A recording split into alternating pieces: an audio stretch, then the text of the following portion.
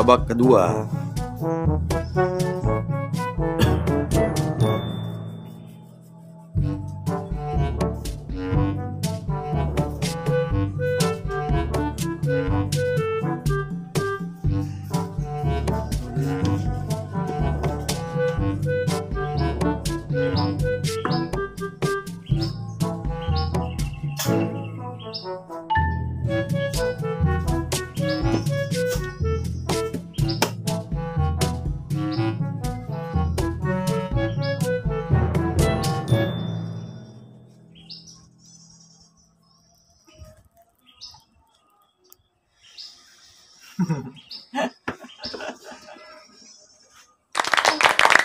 Woi cepet nih nih.